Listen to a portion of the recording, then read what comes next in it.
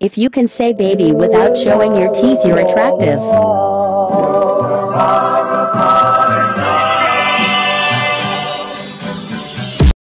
Likey